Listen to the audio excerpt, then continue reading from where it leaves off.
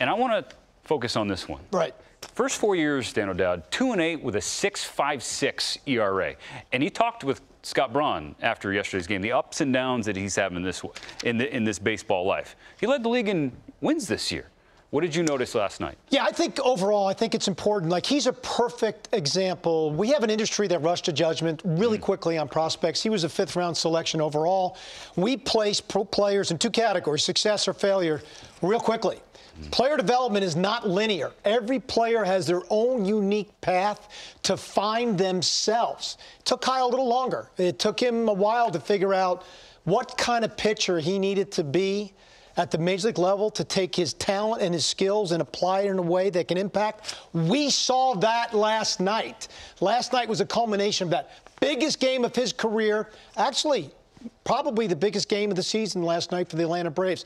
And what did Kyle do? He attacked the strike zone from the first pitch on. When we look at this heat map, which we're going to pull up, it's incredible from, from the first pitch. So 38 pitches in the zone, he gave up one hit.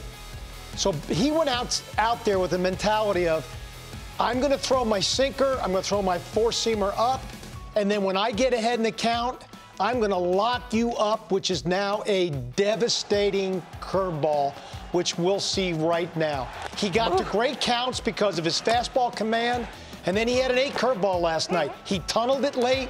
It had late action on it. They did not see it. They had no chance. Six punchouts, four on curveballs, and I am so proud of the pitcher that he's turned into. He was locked in from day one. And if you saw him a few years ago, it would have been hard to envision that. That's why everybody in the industry just needs to be patient with their young players. No, I want it now, DOD. Exactly. I mean, we got it from Kyle Wright last night, that's for sure. Game three, we know it'll be Aaron Nola for Philadelphia. We don't know. Well, Stri- well we know it'll be Nola, but do the Braves counter with Strider, who to me, honestly, was their best starting pitcher this year? Once he went in the rotation, he was basically unhittable.